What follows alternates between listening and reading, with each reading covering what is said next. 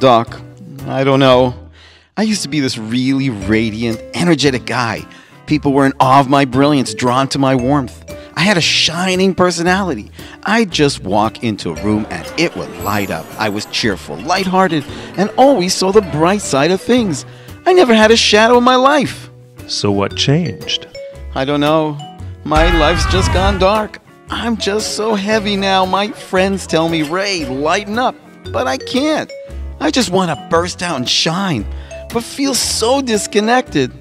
Is there any hope for a new dawn in my life? Ray, do you believe in the sun? Oh no, please, Doc. Don't start up with religion.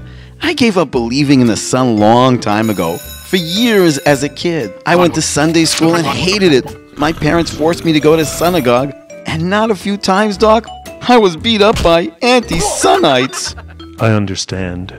My parents told me that we're all the children of the sun, that we're the light of his life, and that the secret to happiness was to serve him. Well, no, thank you.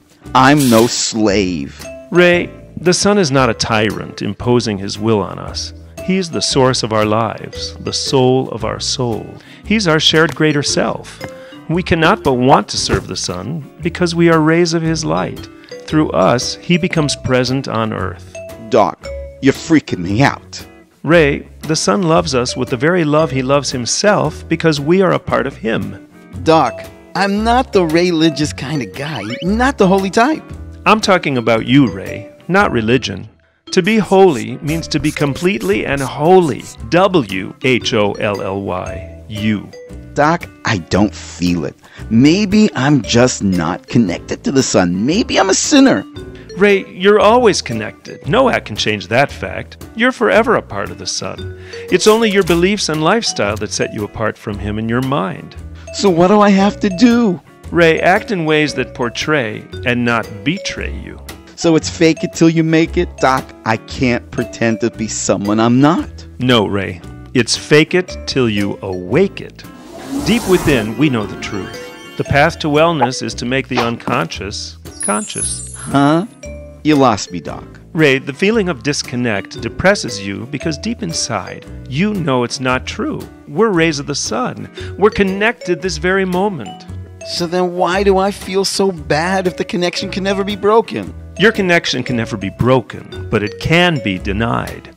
The conflict between who you are and what you believe about yourself is causing you all this stress and sadness. So what do I have to do to let my light shine again? Ray, that's precisely your problem. Listen to what you're saying. You think it's your light. It's not your light, it's His. All the powers within us are not from us, and they're not just His gifts to us, they're His presence within us. You mean feeling great starts with feeling grateful? Right on. Doc, you're brilliant! No, Ray, He's brilliant. Oh, yeah. Well, well, thanks for being holy you. I'm starting already to feel sensational.